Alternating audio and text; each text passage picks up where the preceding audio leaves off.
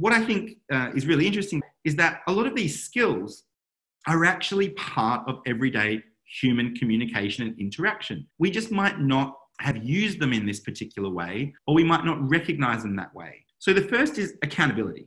The purpose of coaching is to support a client, not just in their thoughts and emotions, but in their behaviors and outcome. We had a really amazing demo on the Thursday class last week where a man really kindly, generously offered to be coached, and it was about exercise and his procrastination about going to the gym. And at the end of the class, I gave him accountability about and let him decide it on his own perspective about what he's going to do tomorrow.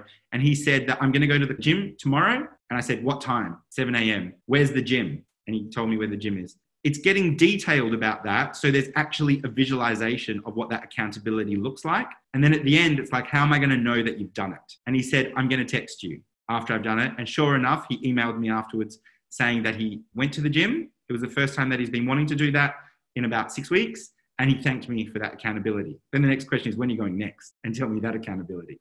So it's a really important part, and we're going to develop that coaching muscle for you all.